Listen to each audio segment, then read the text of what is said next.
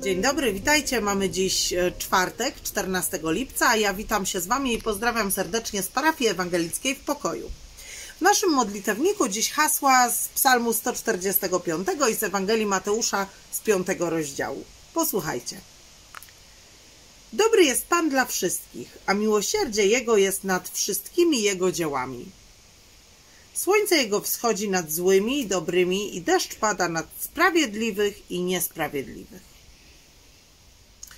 Kiedy patrzę na dzisiejsze fragmenty biblijne, przypomina mi się taka sytuacja z mojego liceum, kiedy omawialiśmy lektury szkolne i mieliśmy scharakteryzować głównego bohatera. E, I wtedy zazwyczaj uczniowie mówili, że główny bohater jest dobry.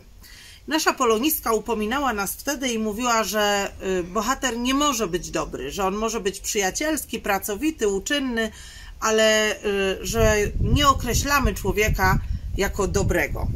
Spojrzałam do słownika języka polskiego i faktycznie okazuje się, że słowo dobry y, niesie ze sobą ogromny ładunek emocjonalny, bo człowiek, który jest dobry, to człowiek, który jest przyjacielski, pomocny, serdeczny, pracowity, uczynny, życzliwy, łagodny, prawy, szlachetny, przyzwoity, solidny, profesjonalny, skrupulatny, łaskawy, miłościwy, otwarty, wyrozumiały, tolerancyjny.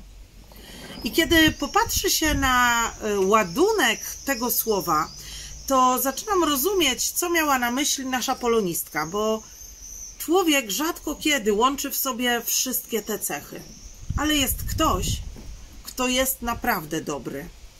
To oczywiście Pan Bóg i mówi nam o tym dzisiejsze y, hasło z Psalmu 145, że Pan jest dobry. Co więcej, Pan jest dobry dla wszystkich. W Ewangelii Mateusza czytamy, że ta dobroć rozciąga się na sprawiedliwych i na niesprawiedliwych. Ale co to znaczy? To znaczy, że Bóg w swojej dobroci i w swoim miłosierdziu jest bezinteresowny.